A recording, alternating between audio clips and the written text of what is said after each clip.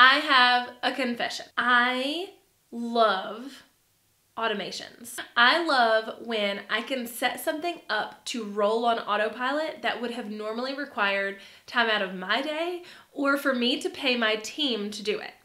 So anytime I can find like workarounds that saves my time or their time so we can be focusing on things that matter more or are in our zone of genius, I just go crazy for.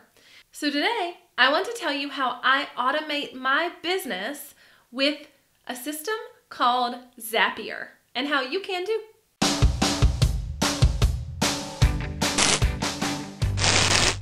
Hey, hey, and welcome back to my channel. I'm Jessica Stansberry and I am a video marketing strategist helping you put video in your business so your business gets better. Welcome back. You may have heard about Zapier before or a system called IFTTT. Both of them are super amazing systems to make things work on autopilot or together that weren't really designed to work together. So, connecting your email system with your selling software, if they don't integrate, you can go through Zapier. Or creating a new Trello card every time someone books an appointment with you through Calendly.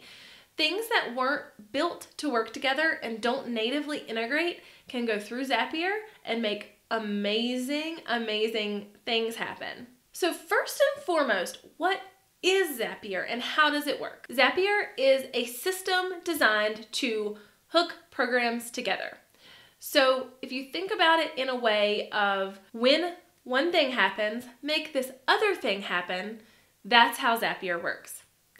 It is free up to so many zaps, but you can pay for it and get more zaps and make everything run so much better. Now, to sign up for Zapier, you can click the link below or just go to zapier.com. It is a awesome system that you will love playing with, I promise. So to just give you a quick run through of how it works, you will go in and you will say that you want to make a zap. And then as you make a zap, it will ask you what program you want as the lead step. So this is the program where when something happens in this program, make something happen in another program. So for instance, when someone fills out a Typeform, all I have to do is hook it to my Typeform account, tell it which form I want it to hook to, and then go to the next step. Then you say, okay, what do I want to happen when someone fills out a Typeform? I want a Trello card to be created in my a specific Trello board in a specific list and I want a specific person assigned to it.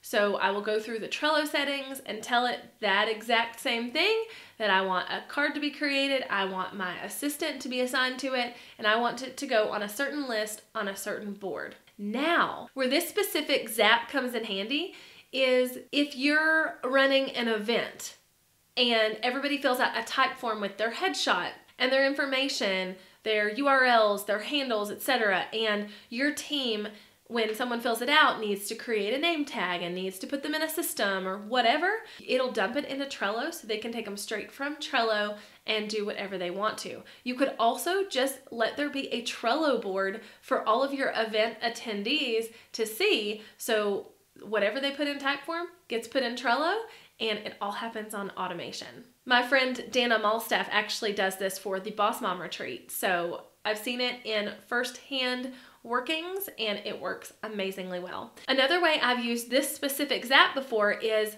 I request testimonials from anyone I get on a one on one call with. But it's again, it happens on automation. If I have to remember to ask for a testimonial, it won't happen. So I will I have created a zap that says when someone on my calendar with this specific keywords, so whether it's like one on one call or 30 minute call, or one hour call, or whatever, these specific keywords, whenever someone with those keywords, when their event ends, I send a notification to my team on Slack and on Trello to add them to a sequence in ActiveCampaign. That sequence then sends them an email that says, Hey, I love talking to you today, and I would love for you to write a testimonial if you have a few minutes. when they submit the form for the testimonial, it creates a card inside of Trello for my team to see, and we can use that on sales pages or an email copy or whatever we need to do. And it all happened on automation after the call was over because of Zapier. Yeah, it's really awesome basically. Some of my other favorite ways to use it is to send media files from a form to straight to WordPress. As you know, I co host the All Up in Your Lady Business podcast. And with this podcast, we have guests. So our guests fill out a form with their bio and their headshots and all of this stuff.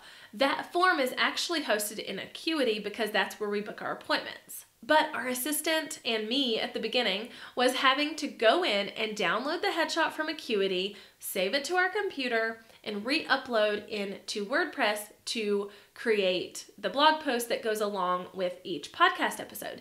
And it just felt very cumbersome and it felt like something we could eliminate. Again, remember, I like to eliminate tasks where I can.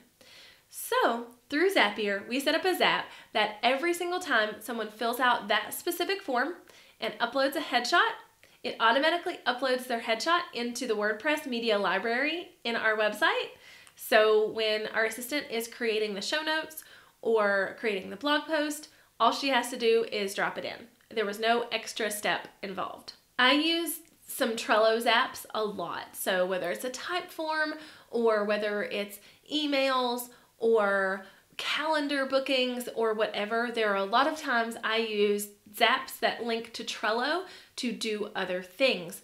For instance, if I have someone come through Dubsado to book with me, I have Zapier automatically create a Trello board for that person. So that's one less step we had to do. And now I have a Trello board set up and I'm ready to get started on their strategy or whatever we're doing together as a client and strategist relationship. Now, one of the other things I love about Zapier is that you can make things really fun with it.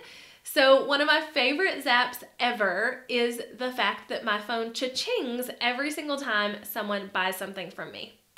So, multiple times a day, I will hear my phone cha-ching, and that means somebody gave me money, and that means, you know, somebody supported my family and all of these things, and it just makes me happy. It really serves no other purpose than to make me happy.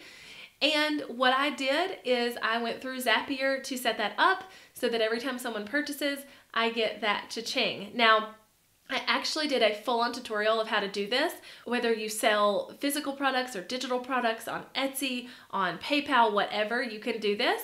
And I will link that above. It was actually a guest post on the Think Creative Collective website and YouTube channel. So if you want to know how to create that cha-ching zap, definitely head over there. All right, so I hope this helped you figure out how Zapier can help automate your business more. To quote Cady in Mean Girls, the limit does not exist. Basically, anything you want to do with Zapier, you can do.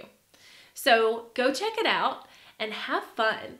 And if you have some favorite zaps that you want to share with me, I'd love for you to share them in the comments because I'm always looking for another good zap to add to my arsenal. And until next time, hit subscribe so you don't miss any other really cool tips like this one. Bye, y'all.